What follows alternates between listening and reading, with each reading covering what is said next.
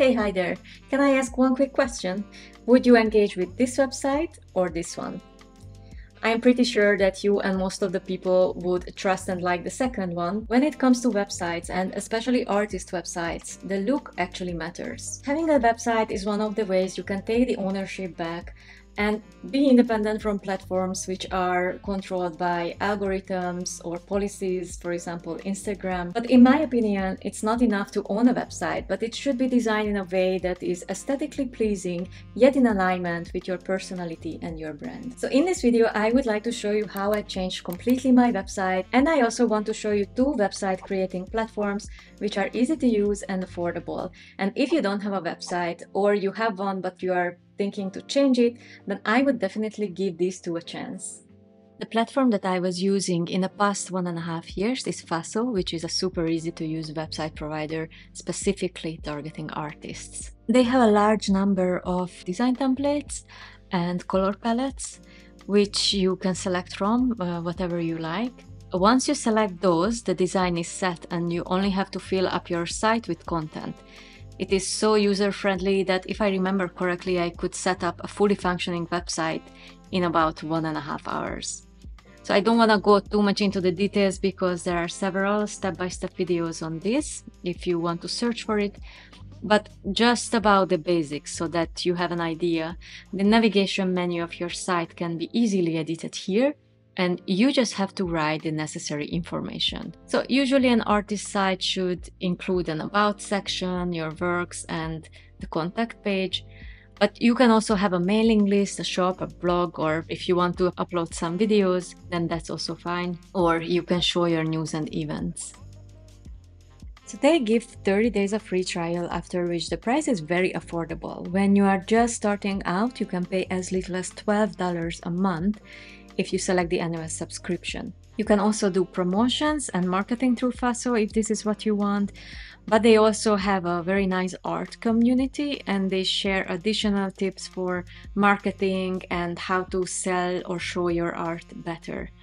Also, what I like very much is the free entry to their monthly contest, the Bold Brush contest, which gives some cash and promotion prizes to the winners each month. So honestly, I like Faso a lot and I was a bit hesitant whether I should change it or not. But I felt that I want to refresh the design a little bit. I wanted something more minimalistic in style and also wanted to change the aesthetics a little bit. So I decided to give a try to Squarespace, which is a very popular site and I saw many artist websites which were created with Squarespace and they had a very beautiful design, very similar to what I have in mind. Although it is more expensive even if you don't want the e-commerce so you cannot sell anything. It costs $16 per month with the annual plan, plus the tax, and the domain is not free after a year. With the e-commerce, it goes up to $23 per month. If you're a student, you have 50% off. Also, don't forget to check out for coupons and discounts. You can Google promo discount or promo code Squarespace. For example, I found quite good ones in the Los Angeles Times. They give 14 days free trial, but you can start to work on as many different designs as you want.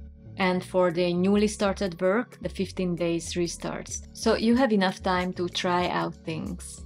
On the other hand, I found it much more difficult to set up a site. Although it's very nice to have all these options that they offer. But when I started out, I had no idea what's going on. So surely it's less user-friendly and less intuitive than Faso, and it took me a few days and many tutorial videos to find out how things actually work. But I think that the overall uh, result will actually compensate with the design and I guess that this learning process is the price that we have to pay for something that is more customizable. And so finally I could uh, settle down for one design and I think my site is more or less ready. I would still change a little bit of things most probably, but I would consider it 95% finished. I am not completely aware of uh, Squarespace and what are the extras that they are providing. If there is any, you know, marketing tool or any tips and helps on how to grow your business or how to make your site more visible. I'm pretty sure that there are certain things like that. But for me, at least for the first site, what is the highest value of this website creator is the beautiful and aesthetic designs and the fact that I can customize my pages in a very very high extent which became actually very important for me. I'm so happy to be able to fully customize my homepage where for the time being I decided to promote an upcoming exhibition in Zurich in which I will also participate. And I also included one section where the visitors can see my latest YouTube videos and my latest Insta posts. For the works site, I decided to share only my recent works. Previously, I always wanted to show as many artworks as possible, but as my style is getting more and more clear and more defined, I don't want to mix all these new works with those that don't fit my vision anymore. To be honest, I'm not quite ready yet to sell my art in the sense that I am not quite ready with shipping an original artwork and I still need to look for a very good printer shop nearby to prepare my prints. So I decided to save some money and I wait a bit more and I also build a larger body of work before opening an online store. But I hope that soon this can also happen. This is the look of my website before and after the change. I think that the new design looks and feels fresh, nice, refined, and it is more minimalistic yet more versatile and this is exactly what I wanted. This was what I was looking for. My domain transfer will most probably take a few days and I hope that soon the website will go online.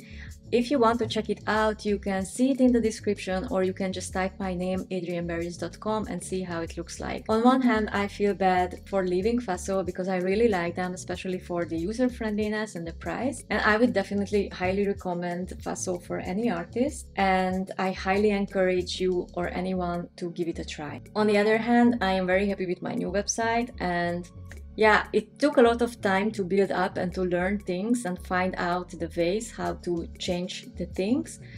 But I feel that is unique to me. I feel that it's designed in a way that I wanted and it better reflects the brand that I'm currently building. I hope that this video was helpful for you and if you enjoyed it, please like the video. Also tell me about your plans about your website, whether you will refresh it or whether you are happy with it or if you have any other tips for different platforms. And see you in the next one. Bye!